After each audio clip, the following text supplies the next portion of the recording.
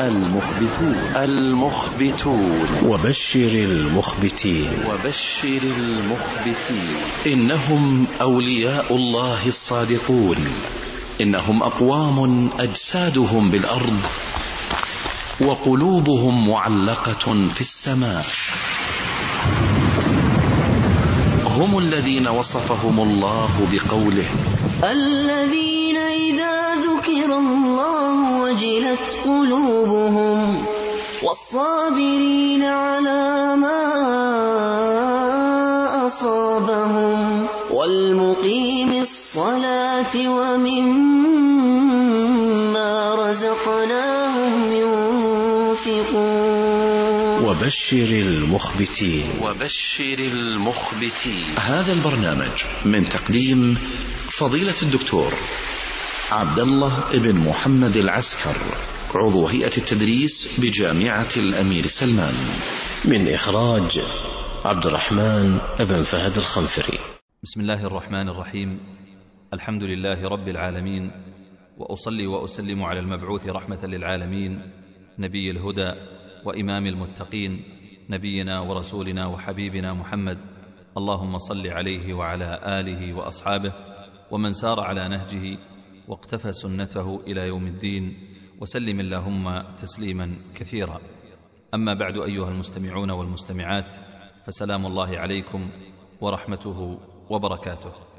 كنا قد تحدثنا في الحلقة الماضية عن خلق من أخلاق المخبتين لا ينفك عنهم في حال من الأحوال وهو خلق العدل العدل والإنصاف مع أنفسهم ومع الآخرين وهم في مقابل ذلك يحرصون أشد الحرص على البعد عن الظلم وأهله وألا يكون للناس عليهم حق فإن حقوق العباد لا بد أن تؤدى يوم القيامة.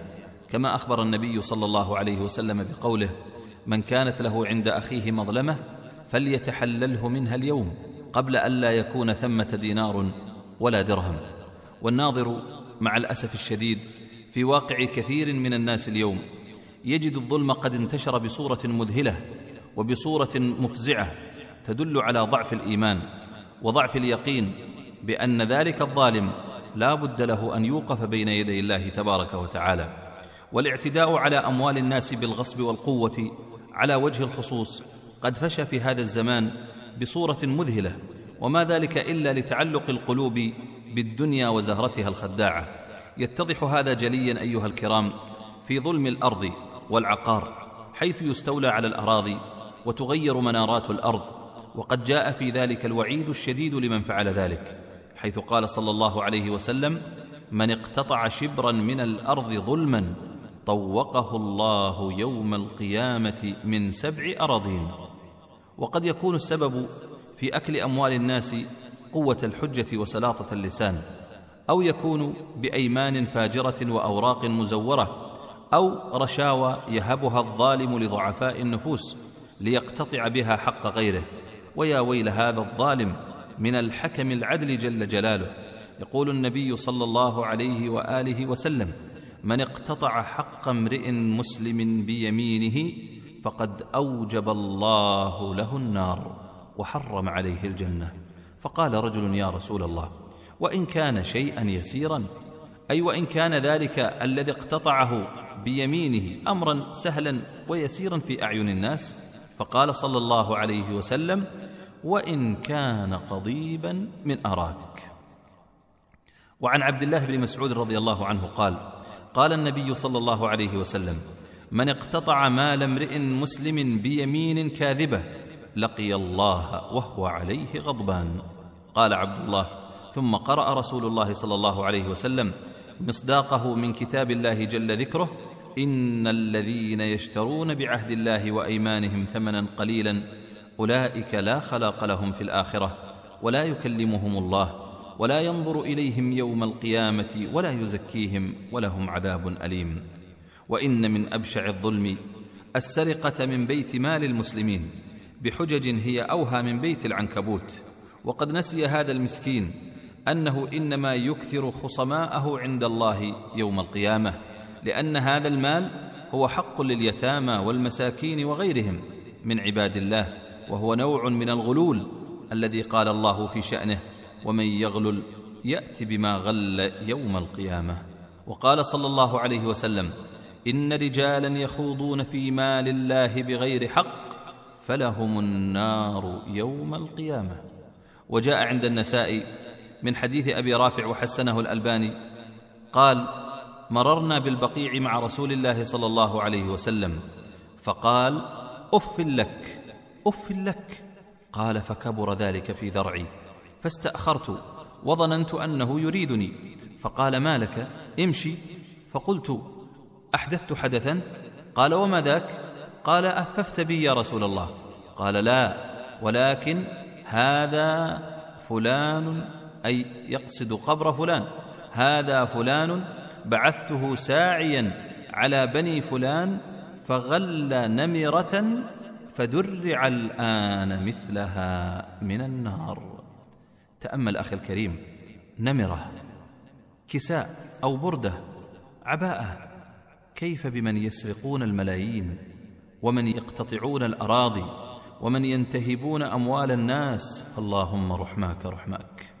وجاء عنه صلى الله عليه وسلم كما في صحيح البخاري من حديث أبي هريرة أن النبي صلى الله عليه وسلم كان في غزوة من الغزوات في طريقه فوقف هو وأصحابه فنزل أحد أصحابه يقال له مدعم نزل ليصلح رحلة. فأصابه سهم فسقط ميتا. فقال بعض الصحابة هنيئا له الجنة.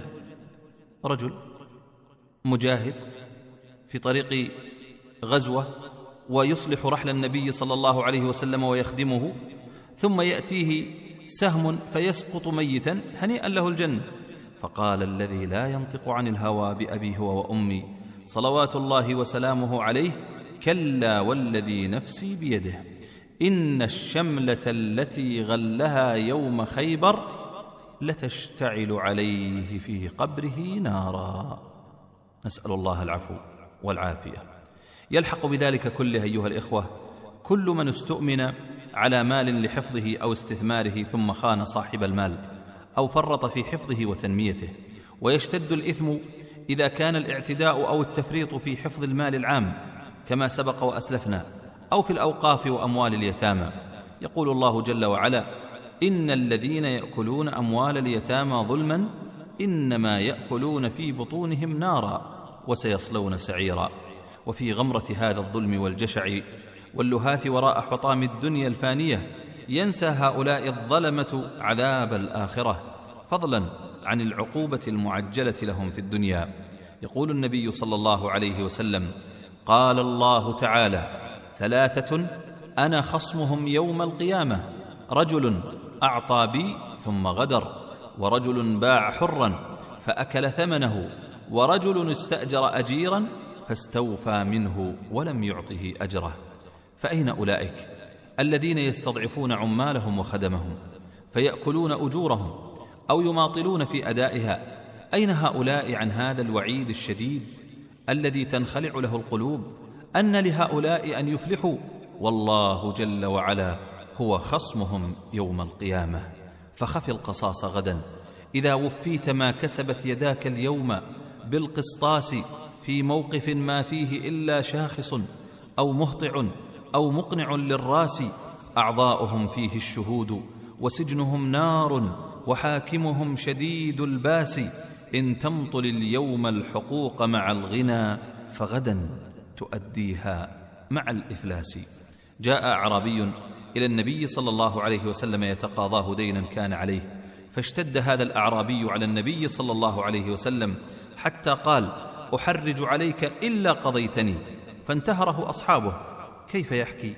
ويخاطب النبي صلى الله عليه وسلم بهذا الأسلوب. فقالوا ويحك أتدري من تكلم؟ قال الأعرابي إني أطلب حقي. فقال النبي العادل المخبت الأواب صلوات الله وسلامه عليه هلا مع صاحب الحق كنتم؟ ثم أرسل إلى خولة بنت قيس فقال لها إن كان عندك تمر فأقرضينا حتى يأتينا تمر فنقضيك. فقالت نعم بأبي أنت وأمي يا رسول الله. فأقرضته فقضى الأعرابي وأطعمه. فقال له بعد ذلك النبي صلى الله عليه وسلم هل أوفيت؟ قال نعم أوفيت أوفى الله لك. فقال عندها النبي صلى الله عليه وسلم قولة هي ميزان للعدل ولكل من أراد أن يحكم أحدا أو أن يضع دستورا. قال صلى الله عليه وسلم إنه لا قدست أمة لا يأخذ الضعيف فيها حقه غير متعتع. وعن جابر بن عبد الله رضي الله عنه قال لما رجعت إلى رسول الله صلى الله عليه وسلم مهاجرة البحر. قال ألا تحدثوني بأعاجيب ما رأيتم بأرض الحبشة؟ قال فتية منهم. بلى يا رسول الله. بينا نحن جلوس مرت بنا عجوز من عجائز رهابينهم تحمل على رأسها قلة من ماء فمرت بفتى منهم فجعل إحدى يديه بين كتفيها ثم دفعها فخرت على ركبتيها وانكسرت قلتها. هكذا يفعل الشباب. في طيشهم وعبثهم متناسين قوة الله تبارك وتعالى ومغترين بقوتهم. فلما وقعت هذه المرأة على الأرض ارتفعت بعد ذلك وقامت من مكانها والتفتت إلى ذلك الشاب وقالت سوف تعلم يا غدر إذا وضع الله الكرسي وجمع الأولين والآخرين وتكلمت الأيدي والأرجل بما كانوا يكسبون. سوف تعلم كيف يكون أمري وأمرك عنده غدا. فقال صلى الله عليه وسلم صدقت صدقت كيف يقدس الله أمة لا يؤخذ لضعيفهم من شديدهم؟ أيها الأحبة الكرام إن الظلم صفة بشعة ذميمة. لا يمكن لمن أراد السير في طريقه إلى الله عز وجل وطلب مرضاته أن يتخلق بها. وهكذا هم أولياء الله. المخبتون الصالحون يبتعدون عن الظلم وأهله ويحذرون من ظلم الناس لأنهم يعلمون أن الميزان دقيق تبين فيه مثاقيل الذر فنسأل الله بمنه وكرمه أن يجيرنا من الظلم والظالمين وأن يجعلنا وإياكم من عباده المتقين وأن يدخلنا واسع رحمته بفضله ومنه وجوده وإحسانه اللهم ووالدينا وأزواجنا وذرياتنا وسائر عبادك المؤمنين وإلى لقاء قادم أستودعكم الله الذي لا تضيع ودائعه وسلام الله عليكم ورحمته وبركاته.